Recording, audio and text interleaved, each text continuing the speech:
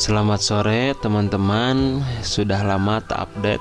Kali ini kita akan membahas banner 17 Agustus HUT RI yang ke-76 Tampilannya seperti ini Nanti kita akan bagikan video ini pendek saja.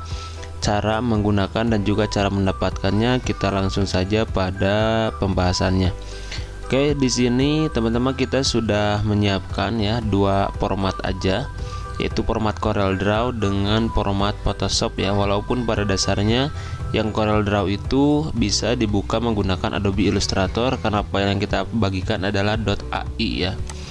Oke di sini teman-teman yang kita buat ada satu desain dengan eh, empat ya empat format dengan berbagai ukuran.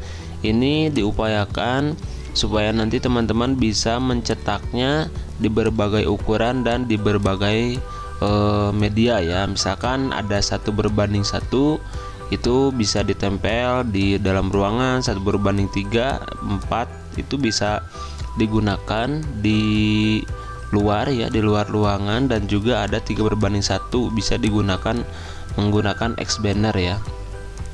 Ini kita buka saja teman-teman. Oke. Ini tampilan yang pertama ya yang tadi dan teman-teman juga bisa digunakan dalam format Photoshop. Ya ini sudah kita siapkan juga teman-teman. Untuk format Photoshopnya sebentar kita buka dulu di format Corel Draw ya. Di sini teman-teman kita udah dimasukkan ya untuk uh, font. Saya menggunakan kalau tidak salah ini Oswald ya. Ini dari O Arial aja ternyata ya. Oswald ya kalau tidak salah ini dari Google Font sedangkan untuk tulisan dirgahayunya dari grid PB kalau untuk ini Oswald aja ya kalau tidak salah. Yang ini juga semuanya sudah menjadi font ya ini font-font standar aja. Dan selanjutnya untuk tulisan 76 atau logo 76 ini saya ambil langsung dari website resminya ya logo 76 untuk tahun ini ya. Jadi 7 ulang tahun ke 76 seperti itu. Ini overall semuanya menggunakan vektor. Jadi teman-teman e, bisa juga menggunakan atau memodifikasinya sesuai dengan keinginan.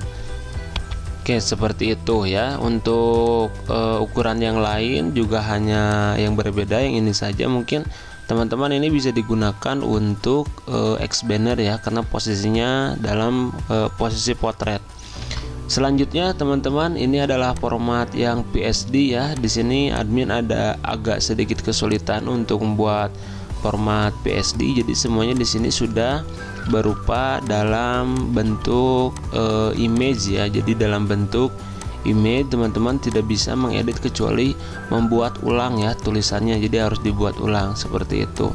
Ini tinggal diganti saja oleh teman-teman ya, ditulis saja e, jadi tidak diedit pada tulisan dirgahayunya karena ini semuanya tidak ada font admin sudah dibuat menjadi image ya seperti itu. Ini sudah disiapkan juga dengan ukuran empat ukuran yang saya sampaikan e, seperti barusan. Oke teman-teman untuk mendownloadnya saya sudah siapkan di sini untuk halaman downloadnya ya. Ada beberapa informasi yang bisa didapatkan.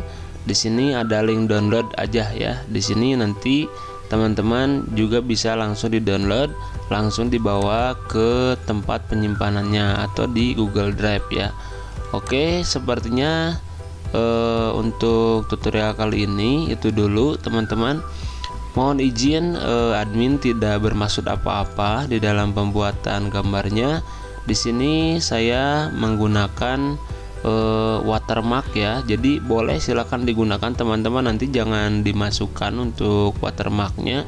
Ini digunakan karena memang ada salah satu website yang mengikuti ya. Jadi dia mengambil konten secara sengaja menyebarluaskan dan tidak meminta izin. Seperti itu menduplik menduplikasi konten jadi mohon maaf teman-teman silahkan digunakan untuk filenya tidak menggunakan watermark. Nanti pada akhirnya tetapi ini hanya sebagai menjaga saja bagi e, mungkin mereka yang digunakannya hanya untuk merepost ulang ya. Terima kasih. Itu dulu mudah-mudahan bermanfaat. Salam belajar Nesia channel